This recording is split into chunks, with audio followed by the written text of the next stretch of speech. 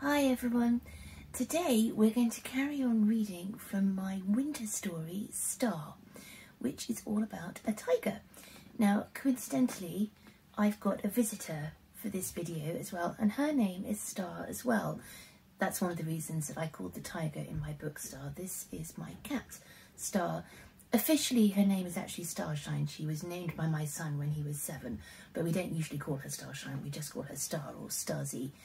So, Star and I are going to read chapter 4 of Star. The beautiful cover of this book is by Britta Teckentrup and the inside illustrations are by Joanne Davies. Now, I've got a strong feeling that halfway through this chapter, Star's going to decide she's giving up on the idea and she's going to make a disappearance, but we'll see how it goes. The little room grew colder and colder as the night wore on. Anushka huddled under her bedclothes, trying to find the courage to move. She'd been curled up in her bed for what felt like hours now, worrying and planning and trying to think if this was a stupid idea. Actually, she knew it was a stupid idea, but she wanted to do it anyway. Even though her sensible side said that she should listen to her parents, her friends, and everyone else in the village, that she shouldn't be going anywhere near a tiger. But there had been something so lost in the cub's golden eyes, Anushka was determined to find her. Moving as quietly as she could, Anushka crept out of bed and began to dress, with one eye cautiously on her sleeping sister. She needed as many layers as she could possibly put on. Vests, long-sleeved shirts, a jumper, three pairs of warm socks. Her boots were good waterproof ones, and she'd take two pairs of thick gloves and her fluffy fairy hat. It didn't matter if she looked like a snowman, as long as she kept warm. She could get frostbite if she was out there in the cold for too long. There she goes, I told you. Her grandfather had lost two toes to frostbite a few years before. He said he hadn't even realised it was happening. He had shown her the stumps, and Anushka shuddered, remembering. Then she padded downstairs to the kitchen and started to fill her pockets with supplies, squinting at her list in the torchlight. She picked up her coat as she slipped out through the door and onto the porch and wrapped a huge scarf around her face as one last layer. Then she gripped her torch tightly, her fingers swollen by the double layer of gloves. The beam of light shone out onto the packed snow. At least it was a clear night with no more snow falling but the light seemed so thin and faint. It hardly cut through the darkness at all. She was only about a hundred metres from the trees, and there the darkness seemed even thicker, a heavy mass of black on black. Anushka stood hesitating on the porch, listening to the sounds of the sleeping village, the creak of wooden houses shifting in the wind, a faint sigh from someone's stove keeping the house warm through the night, a dog turning over in its sleep with the breath of a growl. That was all. She was the only one awake.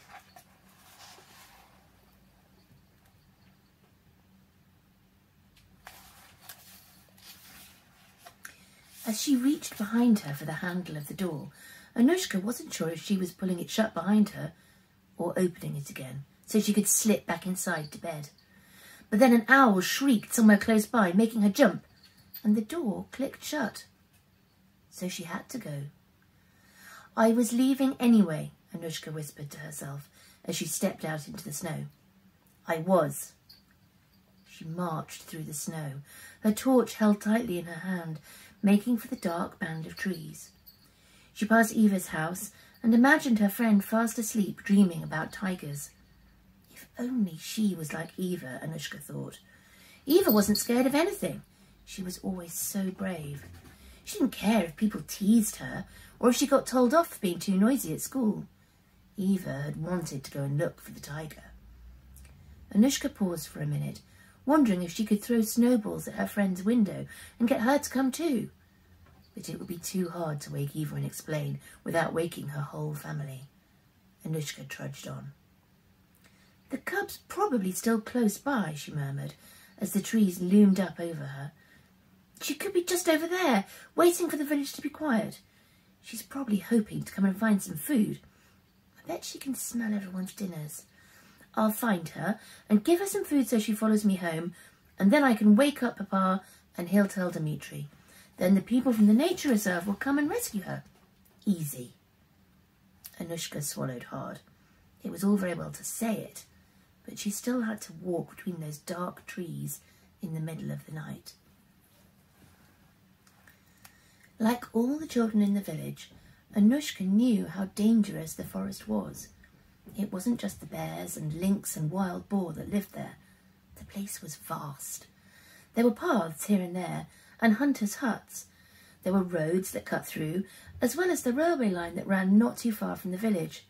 But most of the forest was wild and empty. It was almost impossible to remember one's way. However hard Anushka tried, she was likely to get lost.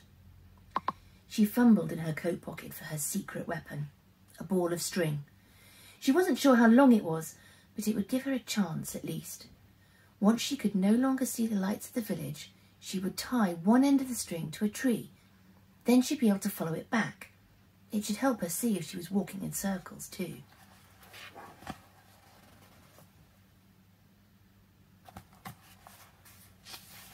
String, Anushka muttered to herself as she stepped between the first of the trees, her torch beam flashing on the dark needle branches. I'm hunting a tiger with a torch and a ball of string. Oh, and the piroshki from Papa's lunch. The darkness seemed to close around her as she walked further among the trees, but it felt a little warmer now she was out of the wind. Anushka looked back. She could still see a few faint lights. It wasn't time to start unrolling the string yet. Those golden gleams among the trees were her last link to home and she dreaded seeing them fade out. She had to keep picturing the tiger cub's golden eyes instead. Anushka peered behind her and felt her heart thump. There were no more lights. She retraced her steps until she could see the village again and pulled the string out of her pocket. She could feel the little wooden tiger there too. Her fingers brushed it as she fumbled for the string. She smiled. It was her good luck charm.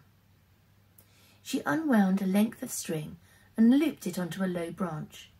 She had to take her gloves off to get the knot to stay properly tied, and the cold bit at her fingers. Then she set off again, slowly unrolling the string behind her. Now it felt as though the journey had truly begun, that she was an adventurer. Anushka shuddered. You're such a coward, she told herself crossly. Think how scared the tiger cub must be without her mother. The string seemed to unravel horribly quickly. The ball was already a lot smaller and she hadn't come far at all. What was she going to do when the string ran out? It had seemed like such a good idea when she saw it on the shelf in the kitchen, but would she really just turn back when the string was gone? Anushka was so busy worrying about the string and keeping her step on the rough, snowy ground that it took a few seconds for her to notice the rustling behind her. She froze, hoping, hoping that it was the tiger cub, and that the strange connection she'd felt between them wasn't something she had just imagined. Slowly she turned, lifting the torch to point in the direction of the rustling among the trees. All she could see between the pine branches was a lump of darkness, not the stripes of a tiger. Anushka lifted the torch a little higher and the light flickered and settled on the face of a startled bear, its black fur gleaming in the torchlight. There was a clear ring of white around its throat like a necklace. It was beautiful. But staring at her from between the bare branches of a silver birch tree, only a few metres away, it was terrifying too. Anushka stumbled backwards, nearly dropping the torch, and then she tripped yelping out loud as she landed on her back in the snow. She was struggling to get up, hoping that the bear was as shocked as she was and she'd be able to dash away, when she heard more sounds, from behind her this time. There must be two of them. How is she going to get away now? Anushka scrambled up to her knees, desperately searching for the torch. She dropped it as she fell, and it had gone out. Was it smashed? What if she had no more light? She was desperate to see what was happening. At last, she found the torch and frantically switched it on. The light shone out, and Anushka swung it round, trying to see what had made the new sound. She was expecting to see another bear, maybe even one rearing up and showing its teeth. But instead, the tiger came padding towards her. The little cub was even closer this time, close enough for Anushka to see the soft pink of her nose in the torchlight and the rich ruff of fur standing out around her face. There's a bear, Anushka stammered. She wasn't quite sure if she was warning the tiger or asking for help. The bear had looked so huge. Was the cub big enough to scare it off? She wasn't much taller than Artur, the dog her grandfather had. But then Artur was a Samoyed, and he looked like a white bear himself. Anushka wheeled round, waving her torch wildly as she tried to find the bear again. Was it coming closer? Would it attack?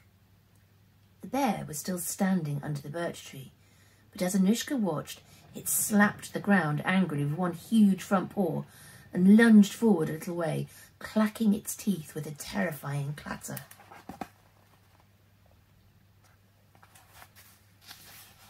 Beside Anushka, the tiger cub snarled, gaping her jaws and twisting her ears back, her tail lashing. It was a standoff, Anushka realised, as the two creatures stamped and snarled. Neither of them really wanted to fight, but they couldn't back down.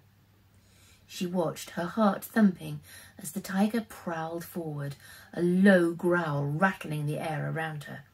She was so brave, but so little. Anushka could see how much bigger the bear was than the cub. Were bears scared of tigers? She just didn't know. The bear began to back away, shaking its huge head uncertainly. And then all at once it turned tail and lumbered off, leaving Anushka and the tiger staring after it.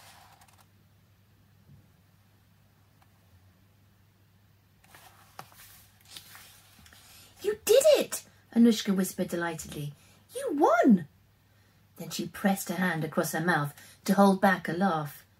As the bear bounded away, its big bottom was bouncing up and down. She turned to look down at the tiger again. Are you all right? she started to say. But then she realised the tiger had gone. Thank you for listening to that chapter, and I will be back soon with chapter 5. Bye, everybody.